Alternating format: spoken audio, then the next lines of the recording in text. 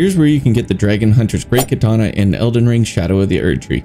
This weapon is so good I had to get a second one, and I'll probably be maining them both for quite some time I imagine. It deals pretty strong damage, has bleed buildup, and does extra damage against dragons. Not to mention the built-in Ash of War is my favorite part. This is also an early game weapon, so if you just follow my route here from the very beginning of the DLC, you'll eventually run into Igon. Curse you!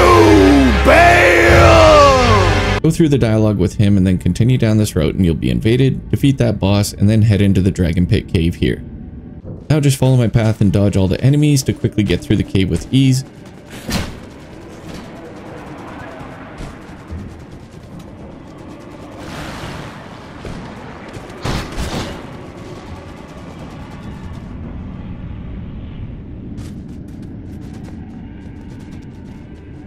Fight the boss in the end and he'll reward you with the Dragon Hunter's Great Katana.